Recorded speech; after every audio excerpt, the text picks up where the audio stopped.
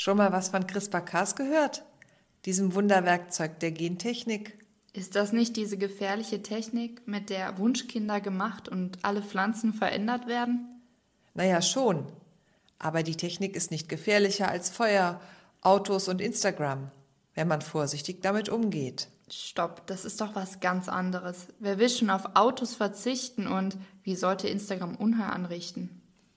Mit der neuen Gentechnik kann man aber Krankheiten wie Diabetes und die Bluterkrankheit richtig heilen und Erbkrankheiten für alle Zeiten beseitigen. Auch Pflanzen kann man gezielt züchten. Mit nur einem Gen können Tomaten wieder so süß sein wie früher.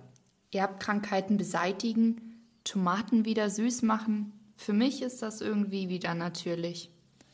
Nein, das machen wir schon lange. Mit normaler Züchtung ändert man sogar sehr viele Gene, ohne zu wissen welche. Und wenn du dich hast impfen lassen oder deine Oma hat eine neue Niere bekommen, ist das natürlicher? Oh Mann, das wird ja immer komplizierter. Okay, in zwei Minuten kann man nicht mehr erklären. Wenn es dich interessiert, dann hör doch einfach den Zoom-Vortrag von Berthold Durst am 8. Dezember an. Auch der Austausch mit anderen Teilnehmerinnen ist möglich. Prima, den Termin merke ich mir. Am 8. Dezember um halb acht bei Berthold Durst.